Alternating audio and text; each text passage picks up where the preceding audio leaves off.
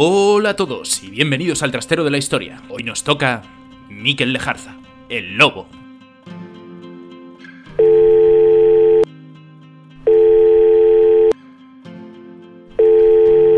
Este es un contestador automático. Deje su mensaje después de la señal.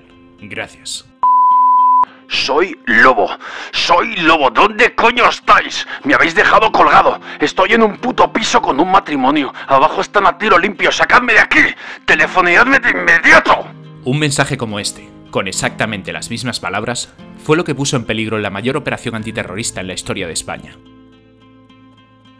España, 1973. La dictadura del general Franco está llegando a su fin. Por tanto, reina la incertidumbre. Nadie sabe cuándo será el final exactamente, pero todo el mundo sabe que no queda mucho. En este contexto nos encontramos al SECET, como se conocía en los años 70 al actual CNI, y a la banda terrorista ETA, la cual no era lo que fue años después, ya que la gente que contaba entre sus filas era bastante más convencida, y sobre todo que tenía un apoyo popular mucho más amplio del que tuvo años más tarde. La banda terrorista ya había cometido numerosos atentados y desde el servicio secreto se empezaba a planificar una operación de infiltración dentro de la banda. Todo se aceleró a finales de ese mismo año cuando dieron el santo en sus acciones.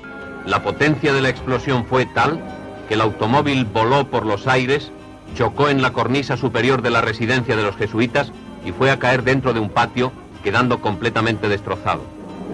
Del interior del vehículo fueron extraídos los cuerpos sin vida del conductor, don José Luis Pérez Mojena, y del inspector de policía, don Juan Antonio Bueno Fernández. El almirante don Luis Carrero Blanco, al todavía con vida, fue trasladado inmediatamente a la ciudad sanitaria Francisco Franco, donde ingresó ya cadáver.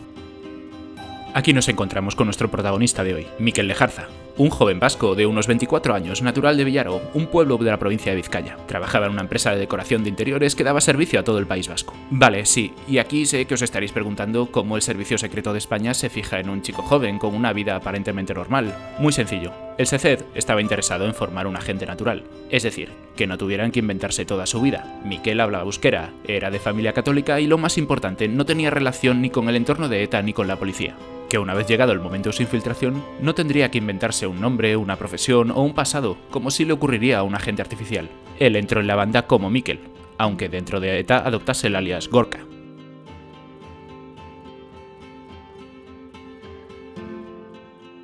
El proceso de captación fue a través de un familiar suyo, que conocía a un policía. Este conocía a otros dos policías de Bilbao, quienes obviamente no le dijeron de primeras lo que pretendían, sino que fue al cabo de varios meses de tantearle. Él, tras varios días de pensarlo, accedió. Y a partir de aquí uno podría pensar que le hicieron una preparación exhaustiva, que le otorgaron un montón de aparatos raros, como estamos acostumbrados a ver en las películas de 007. En sus propias palabras, él mismo calificó su preparación como mínima y extremadamente básica. Parecía que desde arriba tuvieran prisa por empezar la operación y ver resultados.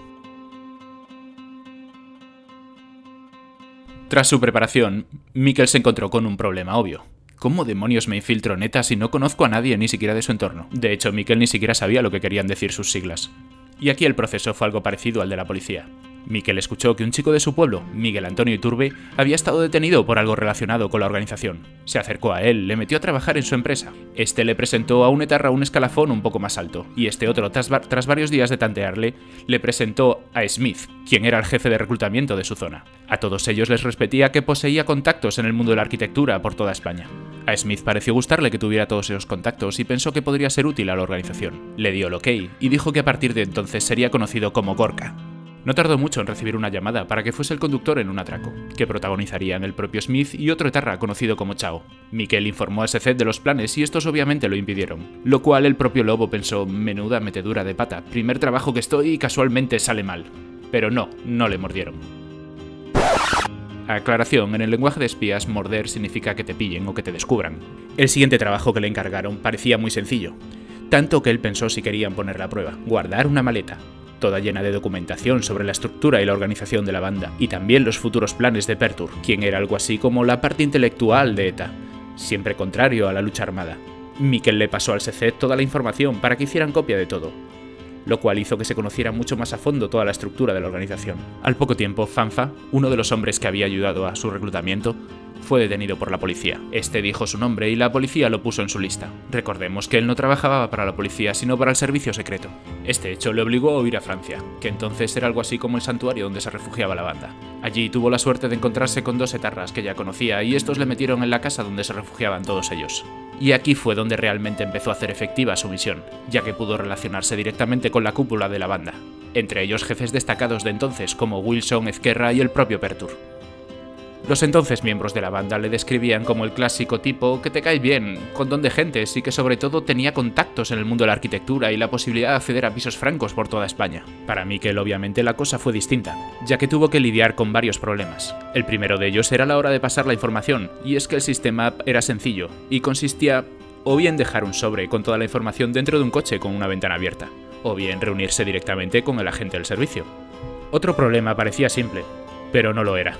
Y es que Miquel solía hablar en voz alta mientras dormía, lo cual si eres un infiltrado y duermes en comuna ya os podéis imaginar. Pero nada malo le ocurrió, de hecho encandiló a todos los jefes de la banda, y estos le nombraron jefe de la infraestructura, lo cual significó un paso de gigante en la operación, ya que él se encargaría de organizar los pisos francos y de alojar a todos los miembros en ellos.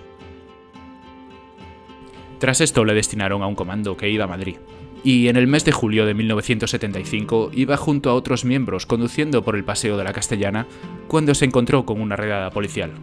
Todos ellos salieron del coche en diferentes direcciones. Miquel echó a correr abriéndose paso mientras disparaba al aire. Desesperado por encontrar un sitio donde esconderse, se metió en el único portal que encontró abierto. Llamó a las puertas del edificio y en una de ellas le abrió un matrimonio de avanzada edad a quienes amenazó a punta de pistola para que le dejaran entrar. Una vez dentro cogió el teléfono y llamó al SECED. Soy Lobo, soy Lobo, ¿dónde coño estáis? ¡Sacadme de aquí! ¡Telefoneadme de inmediato! Al cabo de varias horas, el CCD escuchó el mensaje y fue a buscarle, pero ¿por qué he dicho que el mensaje puso en serio riesgo la operación? Obviamente, la noticia de un tiroteo en una zona céntrica de Madrid no pasa inadvertida para nadie, y menos aún para la prensa. Ya sea nacional como internacional, el caso es que la BBC inglesa se puso en contacto con el matrimonio y estos le contaron todo lo que habían vivido. Obviamente, la prensa lo publicó y no tardó en llegar a oídos de ETA. Al enterarse, le citaron en el Parque del Oeste de Madrid.